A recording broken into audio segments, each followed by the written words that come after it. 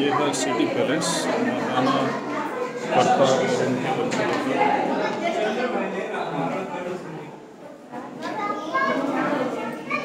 मेरे पीछे ये है बाथटब, संगमरमर का।